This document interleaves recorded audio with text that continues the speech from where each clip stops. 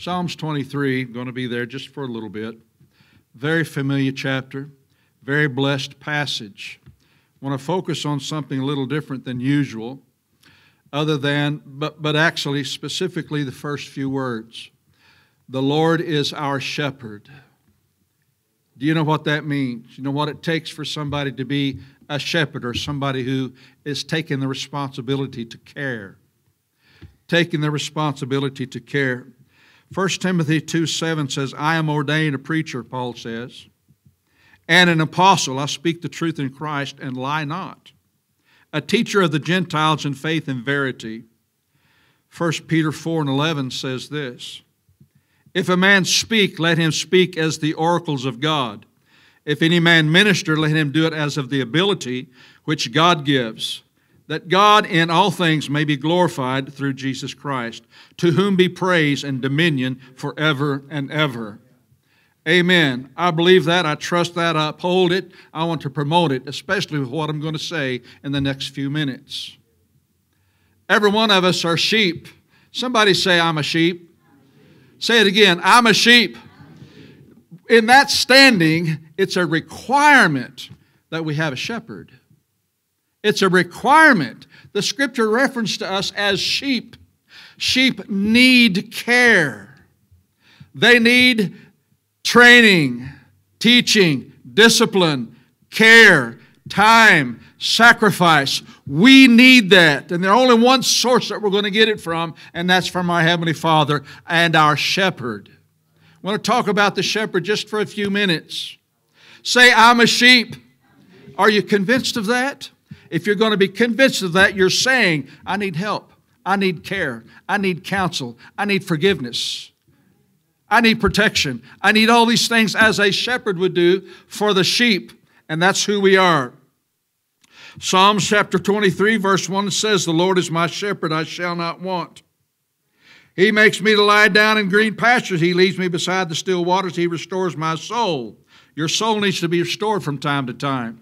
It gets torn and tattered and weary. We need that restoration. You're not going to find success that's going to be worth anything if you think your soul's going to be satisfied out here in life.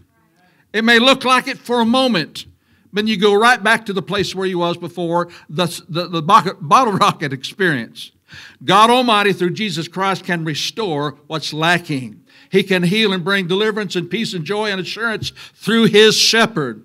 Jesus Christ is our shepherd. He leads us beside the still waters. He restores my soul. He leads me in the paths of righteousness for his name's sake. That's a key verse in this whole passage. That's a key verse in this whole passage. We like the concept of him being a shepherd. We like the concept he's going to uh, uh, be for, be there for us and be uh, uh, be our sustenance and so forth and so on. He leads us beside this. He protects that. All those kind of things are wonderful, but it's key concerning his righteousness for his namesake. You see, he, as the creator, has done everything that he wants to for he himself, and that's a glorious thing. We happen to be involved in it. We need to have the mindset to bring honor and glory to him because we're only the sheep, and I say that with respect. We are only the sheep. I say that with respect. We need the shepherd. We need his counsel. We need his protection. We need his sustenance. We need his provision. We need that. We're sheep. Hey, anybody knows that? We're the sheep. We need him, and he happens to be the shepherd. Jesus Christ is our shepherd, and he's a good one. And has done anything and everything possible to establish our uh, eternal life. He restores my soul. He leads me in the paths of righteousness for his name's sake. Yea, though I walk through the valley of the shadow of death, I will fear no evil. That's the process. When he leads us and guides us, we're trusting in him. We're not going to follow anybody very far if we don't trust him. But if we follow him, he's going to cause us to be in a position of we have no fear. Because we're trusting Him. We're trusting the shepherd. We have confidence in Him. We have assurance in Him. We rely on Him. We're following Him in righteousness. That keeps us steady and assured and confident and successful because we're following the shepherd. Because we're following the shepherd. Uh, thy rod and thy staff, they comfort me. This rod and staff uh, uh, represents counsel. It represents protecting. It represents discipline. It represents guidance. It represents consoling. All the concept as we as sheep need. He is that. His rod and his staff, his righteousness, frankly, his word of truth that makes us free, that keeps us in the place that we need to be. Every one of us are longing for that position. But we cover it up, or we represent it as something else, or we use or we draw a resource from something else to try to sustain through life. Sometimes it's up, so a lot of times it's down. But we need to focus on Him because we're the sheep. What does the sheep sound like? Add a D, bad. We, we need help. We need that sustainer. We need the one who provides. We need him. We can fly on and on for a little bit, but what happens? We go down. Sometimes we crash. Where's the shepherd? We left him back there when we took off. Amen. he prepares a table before me in the presence of mine enemies. That's the most blessed experience I've ever had. Right in the midst of the attack, right in the midst of the false accusation, my, right in the midst of everything going haywire, He prepares a table. And I enjoy it. I'm comforted by it. I'm blessed by it because the shepherd has taken care of this sheep. And the same with you, if we'll trust that. And if we'll believe, oh, yes, there's all kinds of mayhem going on in every one of our lives. It's happening. The sheep are being battered when they're not paying attention to what the shepherd is saying and following what the shepherd is saying to do. Amen. Did that look ugly? Anybody knows what that means? It's a little gruesome to this society, a little rough to this society, but reality is reality. Right. Almost finished with this passage, then we'll jump on a few other things real quick. Uh, thou anointest my head with oil, my cup runs over. Blessing beyond blessing, more and more and more, more than you can stand. Surely goodness and mercy shall follow me all the days of my life. How can somebody say something like that? Surely goodness and mercy shall follow me all the days of my life. Who can say that? Who's qualified? Who has the authority? Who would have the audacity to say such a thing? A wise sheep following the shepherd. That's who. A wise sheep following the shepherd. That's who. Surely goodness and mercy shall follow me all the days of my life, and I will dwell in the house of the Lord forever. John says, or Jesus said in John 10 11, I am the good shepherd. The good shepherd gives his life for the sheep. That's not just an occasional when it fits my schedule, I might show like and be like and act like something's nice and carry on because I'm too busy for you, bud. The shepherd, the good one, gives his life for the sheep. Guess what? Our shepherd, who happens to be a good one, has given his life for us. Not just the final few moments, death and so forth, which that was definitely a part of it, but everything and every aspect of his life was established for you and I. He gives us life for the sheep. And another verse, it says, I am the good shepherd and know my sheep. He knows you, everyone by name, how many hairs on your head. The scripture knows that, or says that concerning how, how well he knows you, and everything from top to bottom, inside and outside, he knows you better than you do. Amen. He does. That's what kind of shepherd he, he is for us. If you're going to purchase something, you have should have enough wisdom to know nothing about it so that you're not disappointed. God Almighty, through Jesus Christ, has purchased us. He knows very well what He's doing, and He loves what He's purchased, and He's taking care of every one of us all the time. He's doing it right now. As the Spirit is ministering in this service this morning, He's doing it right now. Some of us are kind of paying attention, some are kind of not. That's kind of normal with sheep.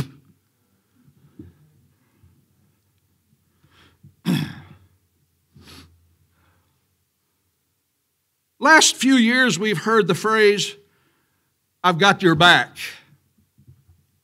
Anybody heard that before? All of a sudden, you got quiet. We've heard it a lot. I don't use a lot because to me it's a little uh, inappropriate. I'm going to say something more fervent and effectual, like, I care for you. If you like to say something along that, along that line, fine. God's got our back. God's for us, not against us. That's what I'd like to say. God is for us, not against us. Anything and everything that's going on in our life, He is for us. Psalms 119, 116 says this The prayer or the request was, Uphold me, uphold me, according to thy word. Anybody want to make that kind of commitment? Anybody want to say and agree and after that say, whatever you say, whatever you want? Amen. Husbands, was that in your mind when you said, I do? Uh, The request 119, 116, uphold me according to thy word. I want to be upheld by God Almighty and everything about Him and all His agents and angels and everybody that's with Him according to His Word. I don't want to be led, misled, or promoted, or built, or any kind of way, any other way. I don't want to be. The request is uphold me according to thy word that I may live, not only in this natural life, and let me not be ashamed of my home. The hope. This is the crux of the message today. That we desire that God upholds us, that we want Him to be our shepherd, that we're going to yield to His counsel and wisdom, that we're going to follow in His footsteps of righteousness, that we might live and not be ashamed of what He's doing. Amen. He's our shepherd. He's the one that gave his life for us. He's the one that's doing everything he possibly can, frankly, not then, but also now. Ongoing, he cares for us. He's caring for us right now. In the midst of everything. So good to see you, Sister Faye. Right now, he's caring for us. We're at the brunt of life and society and everything else is going on within it, but he's caring for us. He's, hanging, he's not going to give up. He's for us, not against us. The scripture says he's for us, not against us. Amen. Uh, he'll do it. He's our shepherd. Isaiah 41:10 says, "Fear thou not, for I am with thee. Be not uh, dismayed, for I am thy God. I will strengthen thee; yea, I will help thee. Yea, I will uphold thee with the right hand of my righteousness." That's how he's going to do it. He's not going to do it the way we want him to do it. He's going to do it because of his righteousness for his namesake. And he's upholding us right now. As we live and move and have our being and trusting him and calling upon him and expecting of him, he's doing that. He's upholding us. We easily would say, well, why this and why that and this and that and the other, and I feel and I think. And so it's easy to do that, and those things are real to us in this life. But what He's doing, according to His righteousness in our spirit, He's upholding us, He's given us truth, He's forgiving us. Anybody need forgiveness? Amen. Ask Him to forgive you then. If you believe in that, ask him to do that. And on and on and on is his blessings. I will uphold thee with the right hand of my righteousness. He will keep us. Psalms 26, 3. Brother Scott, you know what? Oh, Thou wilt keep him in perfect peace. He will keep us in perfect peace, settled, assured, at ease, with confidence and joy and victory, and all those kind of wonderful. He will keep us in perfect peace. Here's a requirement whose mind is stayed on thee because he trusts in thee. The thing that's going to work is because we're convinced we need a shepherd and he's the shepherd and we're going to trust him. It's going to work very well. It's going to be blessed, honorable, joyous, and prosperous in every kind of way that you can think of. Amen. Thou wilt keep, protect, embrace, hold on to him in perfect peace. Perfect is matured, flawless. Whatever God does is flawless. Matured, capable, functioning, uh, sufficient, and everything about that. Perfect peace, whose mind is stayed on thee because he trusts thee. Philippians 4 7. I'm past halfway through. Somebody say hallelujah. hallelujah. Philippians 4 7 says this, and the peace of God, which passes all understanding, shall Keep your hearts and minds through Christ Jesus. Look how the shepherd is treating us. Look how he's providing and, stabilizing and all those wonderful kinds of things that is of assurance. How is that working? It's because we realize we're the sheep and we acknowledge he's the shepherd and he has all that we need and we follow and trust him. That's how it's working. When we question, when we doubt, and we back up because of fear, and we'll talk about that just a little bit. When that enters our life, when we follow that kind of thing and we produce that kind of thing, it's bumpy. It's bumpy, and you reach for remedies that's bumpy. May satisfy for the moment, but it's bumpy because you'll run out or be disappointed or won't be available because of the bumpiness of it all. And you get out there and you feel abandoned no hope, that's what you may feel because you're not trusting the master. You're not trusting the shepherd. You see, the shepherd's willing to leave those who are okay and run off somewhere and get somebody that's way out there in no man's land and bring them back. He's willing to do that. Amen. I'm glad he's my shepherd. I'm glad to be a sheep. I'm going to stay a sheep till things change. I want to, what do you mean? I want to stay a sheep, meaning I want to be willing and obedient, submissive to Him because He's purchased me. He's watching care for me, and He's, I, he's against, not, He's for me, not against me. He's got my back. and everything else. All righty then. We need not fear anything. We need not fear anything. We know this verse God has not given us a spirit of fear. If we have it, if we experience it, if we hold, uh, hold do-si-do with hold hands with it, it's because we went and got it. It's because we listen to some influence that's providing something that's not good uh, and it's unhealthy for us. God has not given us a spirit of fear, but of power and of love and of a sound mind. That's what we have. Say, I have it. What do you have? You have power, love, and a sound mind. he knows, and we know, at least right here, fear don't do anybody any good. You know what else the scripture says? The scripture says there's no fear in love. If there's a, a, a help, a good, healthy uh, sample, helping is what I'm trying to say, of love in our life, fear has little to do with you. Fear has little uh, accomplishment and success with you because of love being prominent in your life. And we're just touching this and skimming the surface about love in Sunday school class now concerning families and so forth and so on. Love has everything to do with wanting to do for something else or someone else. Has everything to do to be willing to sacrifice, lay aside contentions, lay aside selfishness, lay aside whatever else it is all about me, myself, and I, so that you can provide and care for someone else. That's what love's all about. Oh, there's the uh, uh February 14th aspect in it. There's other little things along the line that's a part of it, but the main thing God so loved the world to give. What did it take for God to do such a thing? Was it February the 14th? Way off. Way off so loved the world that he gave his only son. And we know the concept, at least as much as we're capable to know, what it meant for that, what it took for that, and the reason for it. Jesus Christ is our good shepherd, and he's doing what he's fulfilling his role right now. He's fulfilling his role through his word, through his spirit, and we're being comforted, we're being blessed, we're being counseled, we're being understood, we're being forgiven, and it's ongoing. The requirement is that we accept that in the position that we're in and the position that He's in. And we acknowledge that and we follow that. The blessings and everything that's promised that will follow. There's no fear in love, but perfect love casts out fear. If you're bothered, there's going to be a blunt statement. You already know what it's going to be, and, and the devil's trying to get you to grit your teeth. Perfect love casts out fear. If fear manipulates you and moves you and captures your attention. You consider and you, you're diabolical and so forth and so on. You think and say things and sometimes even do things. Love is minimal. Love is lacking, I should say. It is. And we all can say, but, but, but, but, he and she and, uh, uh, but, I know that. Been there, done that. Every one of us have. But the scripture's still truth.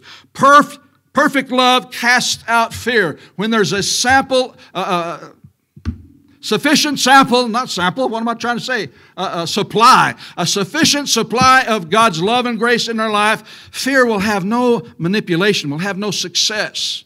Nothing will happen when fear is way out there somewhere. Perfect love casts out fear because fear has torment. Anybody know that? Absolutely. It has torment. It keeps you from deciding right things. It manipulates you to say and do things you wish you hadn't have. It does that. And we're all familiar with that. So how do you, how do you confront that? You develop God's love in your life. You develop God's love in your life. And love is more than giving somebody two popsicles instead of one. Way more than that. It has to do with letting them have the whole bag and you go home with nothing. Anybody know you'll be better off with less sugar? Almost finished. Fear has torment. He that feareth, there's another verse, is not made perfect in love. If you fear, if you doubt, if, that's going on in your life, love is lacking. Simple as that. Love is lacking. All right, finishing with this God promises to uphold and keep us. He's our shepherd. He's doing that, He's in that position. Let's uphold him and his commandments. Luke 11, 28 says, Keep the word of God. Another place it says, Keep his sayings. Another place, keep his words. And several places it says, Keep his commandments. Simply put, if you don't like those phraseologies, simply understand this do what he says. Do what he says. Simple as that. He is sufficient and very capable of being a good shepherd. He's proven it over several centuries now. And a lot of people are, are experiencing the joy and peace that he provides. Jude 21, just nearly finished. Keep yourselves. What does keep mean? It means embrace, protect, provide for, keep safe. Keep yourselves, sheep, sheep Dean, sheep Matt, sheep Tony, sheep Amanda, sheep Melissa. All these folks in here are sheep. It says keep yourselves. But but but but I thought Jesus, yeah, he is. Now what are you going to do about it? He said, do, do, don't do that. He said, Are you going to do it? or not do it. He says, Do this. Are you going to do it or not do it? Keep yourselves following His word, His power and grace. Keep yourselves in the love of God. That's what this verse is saying. Looking for. Don't think that you need God's mercy. Don't think you can get by with hours and hours and hours and not asking His counsel and mercy. Don't think that you can get by with it. Oh, we might fool ourselves in such a thing, but we need Him. We need what He's providing. Wish I had three more hours. Keep yourselves in the love of God, looking for the mercy of our Lord Jesus Christ unto eternal life. He's our shepherd, people. Trust Him. Just because He's our shepherd, just because we have the promise of eternal life, doesn't mean bad things won't happen. They're out there, and sometimes it seems like it's worse. Amen. Sometimes it seems like it's worse. But we have this promise. We have this treasure. We have this hope that's promised by God Almighty, and He's making sure that He's leading us and guiding us, helping us, forgiving us, understanding us, being compassionate towards us. He's our shepherd, and He's doing that all the time, even right now. Say, I'm a sheep. Are you glad about that? I am. I'm glad about it. I would rather be a sheep now in this circumstance as before, being a lost sheep, an ungodly sheep, uh, uh, uh etc. Like, okay, last verse, Jude 24. Wonderful verse. Now unto him that is able, my my, what's it going to take for him to be able to keep you from falling? Well, he's going to keep me from falling. Why should he worry about it? he's the shepherd. We're the sheep. How's he going to keep us from falling? By following what I've talked about already. Trusting in Him. Trusting in Him, following Him instead of other things we're familiar with doing that we wish we hadn't of. Unto Him that is able to keep you from falling and to present you faultless. He's going to be able to do that. Can He do it right now? He's working on it. He's working on it. Cooperate with Him. He's the shepherd. We're the sheep. Present you faultless before the presence of His glory with exceeding joy. Know that He's our shepherd. Know that we are the sheep, and that's an okay situation, but we need to stay in focus of what that is and what it represents and what needs to provide or progress, rather. God has already accomplished and settled His plan. It's in motion right now. Jesus Christ is still involved. The angels are still involved. The Word of God is still involved. We're still involved to follow the plan that we might be eternally with Him forever and ever. He's our shepherd, and He's caring for us all the time. Amen. Anyone need prayer? You have a particular need you'd like the church to pray with you about?